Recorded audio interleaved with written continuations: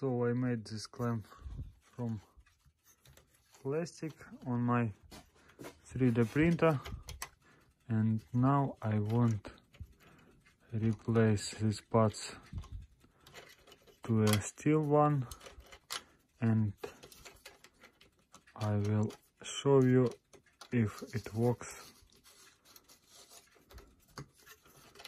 with the seat post.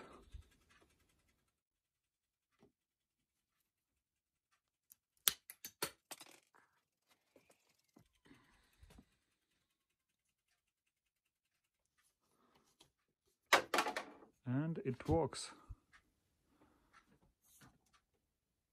I can remove it with the hand.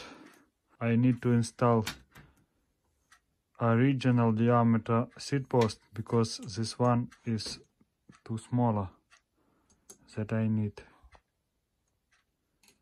and as you can see 3D printed plastic works well and this part was very bad quality I broke it with my hands but this still works.